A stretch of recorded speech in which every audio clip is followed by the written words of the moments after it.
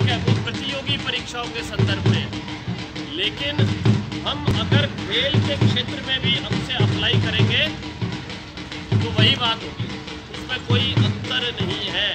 पाँच बातों में पहली बात ये है कि आपको चाहे प्रतियोगी परीक्षा की तैयारी करनी हो या एक बढ़िया उमदा खिलाड़ी बनना हो तो उसकी पहली शर्त क्या है कि रोज़ क्लास में आए, यानी कि रोज़ ग्राउंड में आए।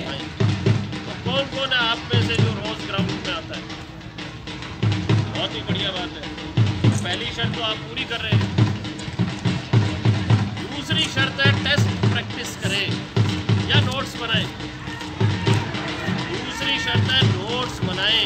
नोट्स बनाने का मतलब है कि होमवर्क यानी कि बारीक काम आपको करना है। आप जिस भी स्पोर्ट्स में जाना चाहते हैं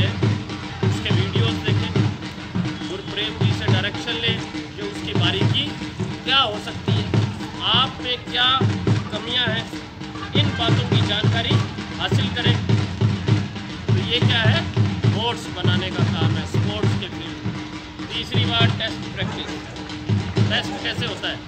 जो खेल उत्सव होते हैं, जो खेल मेले होते हैं, प्रतियोगिताएँ होती हैं खेल से संबंधित, वो क्या है? आपकी टेस्ट प्रैक्टिस। और उसमें आपको अपनी रैंक को मेंटेन करके दिखाना है, जिसके लिए काम करना पड़ेगा अब चौथी बात क्या है? चौथी बात यह है कि दबाव में ना आए। चाहे खेल हो, चाहे प्रतियोगी परीक्षा, आदमी दबाव में आता है परफॉर्मेंस को लेकर, लेकिन दबाव में ना आए। और पांचवी बात पेपर किसको देना है? खिलाड़ी किसको बनना है?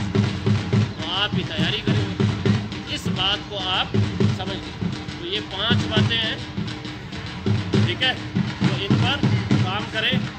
और मैं विश्वास रखता हूँ कि आप खेल के क्षेत्र में अपना परचम ज़रूर ले रहे लेकिन